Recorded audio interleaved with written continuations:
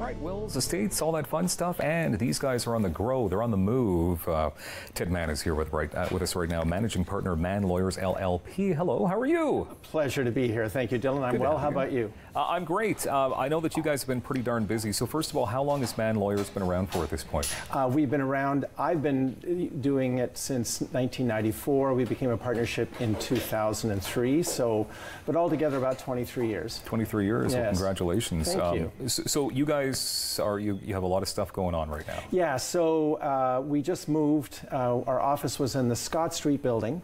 And we've moved over to the Holland uh, Avenue building at Holland Cross at the Okay. corner of Scott and Holland. And the uh, many lawyers from the firm of Burke Robertson came to join us as well. Our move was in order to make room for uh, the Burke Robertson folks joining us. So we've gone now, we're, we're now 30 lawyers. Oh. Uh, and uh, it's very exciting. We have brand new office space, and everyone's loving their office. And we have lots of light coming in for all of the staff, and uh, and we're uh, and the, the Burke Robertson folks are uh, have a lot of years of experience.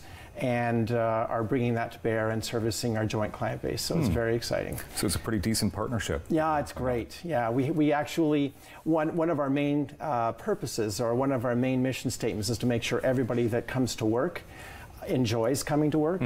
Uh, and so everybody comes in with that approach. And uh, for a bunch of lawyers, we all get along really well. so you have like uh, casual Fridays and crazy hot days. we have crazy, yes, we have that. We have casual Fridays, we have birthdays, we have a day a month when we celebrate everyone's birthday in that Oh, month. We have quarterly potlucks. We have social events for staff and for the lawyers. So we have a great time.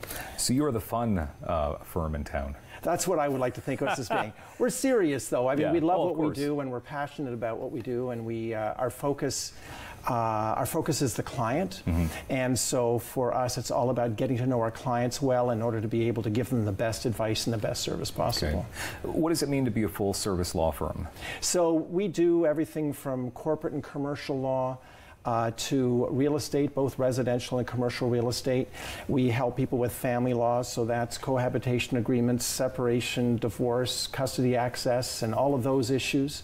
Uh, we also do personal injury law, so somebody who's been hurt in a car accident or slip and fall, we can help them.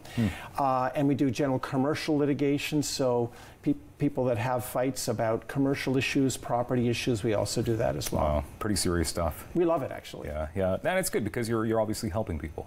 That's why I do what I do. Yeah. It's, I just love being able to help, and so do the others in my firm. I love your slogan as well: "Good people, great lawyers." Well, for me, it's all about we're not. We as lawyers aren't better than anybody else. We just have a specific set of skills, mm-hmm. and, and and so for us, we just want to get along, and we want to be able to get to know the clients that we have, so we can give them the best service that we can. Mm-hmm. And uh, I'd like to think of us as as being good people because we care about the people around us, and then we do everything we can once we get to know them to give them the best service mm-hmm. possible. Well, you're a real credit to the to the career because I know sometimes lawyers can be sort of typecast or you know as uh, maybe they're just after your money or this or that. But I can tell just by meeting you that you are a good person. Well, thank you, Dylan. I appreciate that. Well, that's a good sign. yeah, thank you very much. it's a very much. good sign. And you're also here to help us with a couple of things. So wills and estates. Yeah, I uh, so a significant part of my practice is in doing estate planning for people, which generally speaking involves preparing a will and powers of attorney. The problem is people don't like to talk about death. And so they tend to avoid preparing wills and powers of attorney. Powers of attorney are a problem if something happens to you and you're not able to sign documents uh, and you have not appointed somebody else to be your power of attorney, then your your doc, your your money and your property is frozen until somebody can be appointed by the court. A power of attorney allows somebody else to step in to do those things for you without the necessity of a court application or anything of that nature.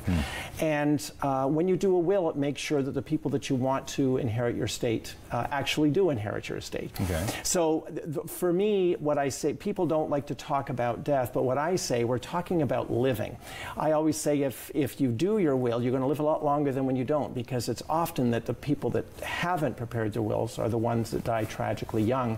Uh, and I think having a good estate plan is a part of living a good, long long and healthy life. So how long how long is the process to, to put together a proper will? So we will meet with clients. Uh, my my, uh, uh, my my staff will be in touch with the client before they come in to give them some information that it helps me that helps me in helping them. And when the client comes in with that information, they'll sit with me for probably an hour and a half. Uh, and that's usually two or three weeks after they've uh, spoken with my clerk. And then it will take us three to four weeks to uh, put the documents together. We send everything out by email to save paper, and uh, our clients will respond back, either come back to see me or ask questions over the phone. Sometimes with more complicated estates, it can go on for several months as we go back and forth and sort out various property issues. What age should you be thinking about this? Uh, as soon as you are, I would suggest as soon as you are 18 and you have any kind of assets at all, even without assets, as I've mentioned, the ability for somebody else to sign on your behalf if you're not able to is extremely important. So the sooner the better. Absolutely, by the time you start to own property, you start, you have a job, and you start having an RSP or other assets, would be a very good time. Okay, good people, great lawyers.